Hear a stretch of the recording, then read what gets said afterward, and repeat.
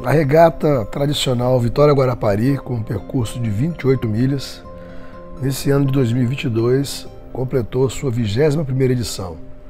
Foi um evento histórico, onde foram inscritos e largaram 26 veleiros, com mais de 120 velejadores, rumo à cidade de saúde. Esse ano, a Federação Capixaba de Atismo promoveu uma palestra com o Ricardo Lobato, que é membro da World Sailing, onde ele palestrou sobre boas práticas para o desenvolvimento da vela, na sexta-feira, no Jantar de Comandantes, promovido pela Vilone. No sábado, ele participou da regata e no domingo, ele fez uma clínica para os oficiais de regata do Espírito Santo, ensinando todas as técnicas e os procedimentos para se realizar um evento dentro do mais alto nível. É, eu fui tripulando o meu barco, Phantom of the Opera, com o Ricardo Lobato, o Blue, no comando, esse aí da imagem. Prazer ter meu filho a bordo, Eduardo. Grandes amigos, Bruno Lessa, Felipe Cade, Arthur Tenório, Germane Brandão. Realmente foi um evento de altíssimo nível.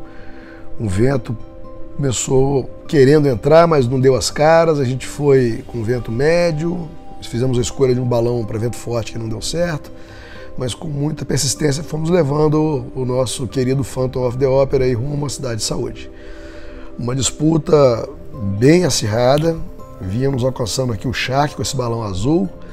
E a gente chegando em Guarapari, testamos uma manobra para a direita, que não deu certo, voltamos, fizemos de novo e acabamos que a gente conseguiu pegar um vento terral e distanciar de quem vinha atrás e aproximar de quem vinha na frente. Essa manobra nos valeu o segundo lugar na categoria Orc, a categoria principal da vela, onde estão os barcos de mais alto nível.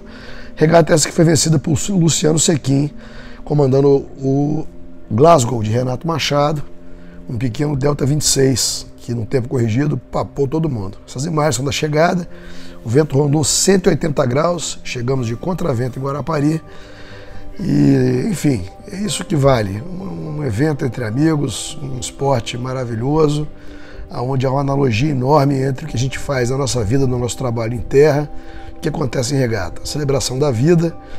E isso chancela um movimento maravilhoso que o Yacht Clube do Espírito Santo vem promovendo junto à Federação Capixaba de Atismo para o desenvolvimento da vela. Agradeço aqui a participação de todos os velejadores, em especial o Comodoro do Yacht Clube Carlos Mosquen, o diretor de vela Vitor Santos Neves, ao Contra-Comodoro Francisco Bueno, toda a diretoria da FECAI e a todos os velejadores que participaram dessa festa maravilhosa da vela, em especial a minha equipe do veleiro Phantom of the Opera BRA 245.